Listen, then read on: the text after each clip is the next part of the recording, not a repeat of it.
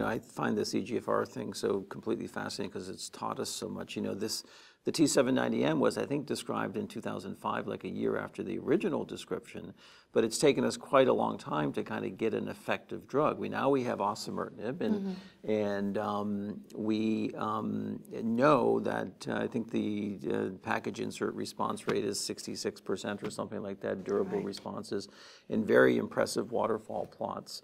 Uh, but until recently, we didn't have randomized data. I mean, in the old days, we would resist going to chemotherapy as the next step. But now we have data. Right. Do you know something about that data? Sure. So, you know, the impressive thing about this data that I reported at the meeting in Vienna recently, AURA3, randomized data that pretty much recapitulates everything else we knew in AURA1 and AURA2, the first two studies where the drug was given without a control uh, in a phase one and a phase two expanded cohort. That doesn't happen very frequently yeah. in oncology where you see the same response rate, the same progression-free survival, being recapitulated. Our history is as yeah. most positive phase twos yes. are negative That's in phase right. three. Yeah. That's right. So that speaks to the validity of the original data, but also speaks to how the drug is useful for the patients. It proves really the value of the drug as an addition to the armamentarium for the T790M patients. Of course, the rest of the patients that have other resistance mechanisms are still not being addressed with this. But the data was impressive.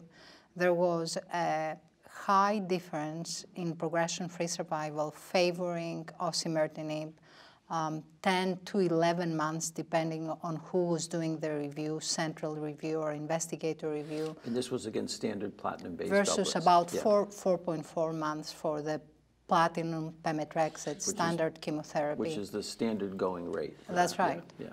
Uh, and the hazard ratio was just very impressive, was 0.3. Response rate 71% for osimertinib in this phase three data, which is really um, the same mirror image of all the other data that we have seen. And of course, the side effect profile favors osimertinib in this population. It's easier to take a pill, it's much less toxic, people don't have to worry about the side effects related to chemotherapy.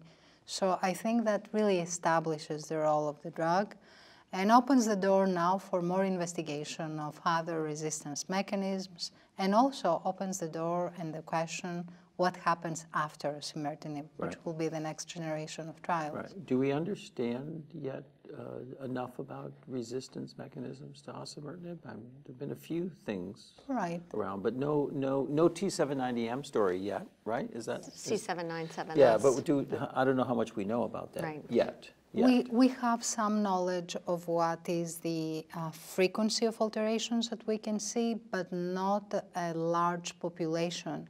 Actually, this clinical trial, AURA3, has systematic collection of data yeah. from patients that progress on the drug, and that would represent maybe one of the largest yeah databases very, very Right, and rebiopsy is important because the C797S mutation, if present but you lose T790, they can re-respond to first generation mm -hmm. EGFR TKI. Right. So you want to know when they mm-hmm. progress mm -hmm. in osimertinib if there is something you can take an action on.